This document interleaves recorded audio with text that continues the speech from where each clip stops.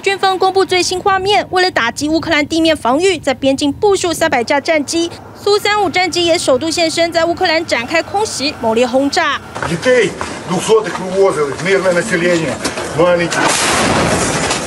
话还没说完，飞弹就在身边引爆，画面瞬间全黑。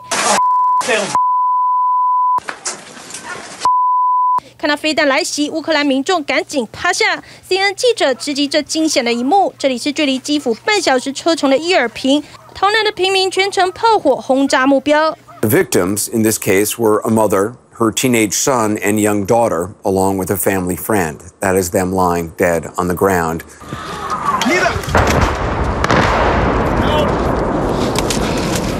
俄罗斯周一宣布，在首都基辅、第二大城哈尔科夫以及马里乌波尔、苏梅暂时停火，重新开放人道走廊。但乌克兰人已经不相信。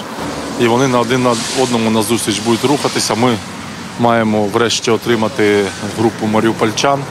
马里乌波尔正在平民撤离的巴士还是遭到俄军突袭，因此不敢载人。 难不成新卡霍夫卡因为靠近克里米亚，是俄军北上重要水路，目前已经陷落。乌克兰人挥舞着国旗上街示威，而已遭占领的赫尔松则是遭到俄军封锁断粮。Because they know that Ukrainian army won't do anything to harm us to come to our city and bring us something. So we like feeling, you know, like isolated from the rest of Ukraine for right now.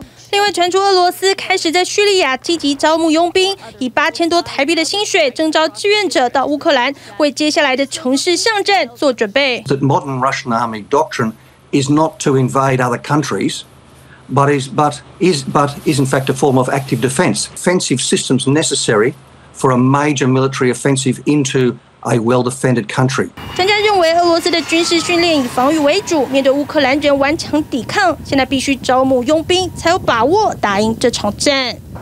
TVBS 新闻综合报道，请支持 TVBS 国际 Plus 全新频道，让您扩大视野，掌握趋势，接轨全世界。恳请订阅，开启小铃铛。